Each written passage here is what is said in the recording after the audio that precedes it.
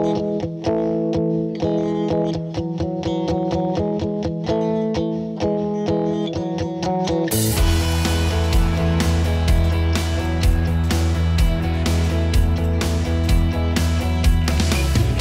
team All American, she led the 2010 Huskers to a perfect regular season and the Big 12 Conference title. A three time first team All Big 12 selection, she powered Nebraska to NCAA tournament appearances in 2007 and 2008 before leading the Big Red to its first NCAA Sweet 16 in 2010. A National Player of the Year finalist as a senior, she was Nebraska's first winner of the Senior Class Award in any sport and was Nebraska's Female Student Athlete of the Year. The 2010 Big 12 Player of the Year, she closed her career as the second Husker to score 2,000 points and grab 1,000 rebounds.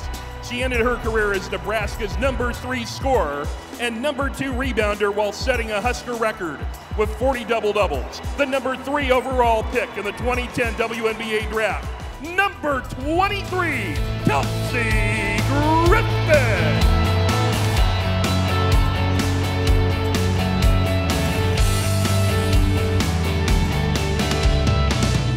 What makes Kelsey all these accomplishments so special?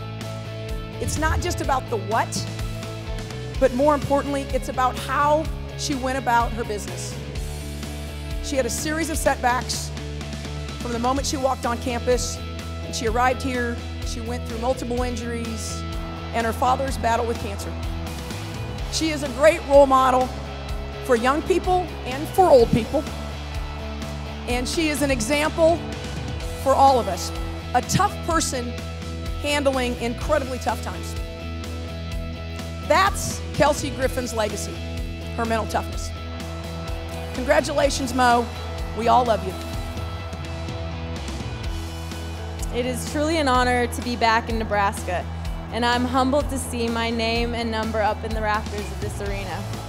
Even though I never had the opportunity to play on this court, all of you make me feel right at home. I feel truly blessed to have many of my family, friends, and former teammates here for this great night. To Coach Yori and all of the members of your Nebraska staff, both past and present, thank you for bringing me to Lincoln and giving me the chance to prove myself. Thank you for giving me the opportunity to play in front of these fans and become a Husker.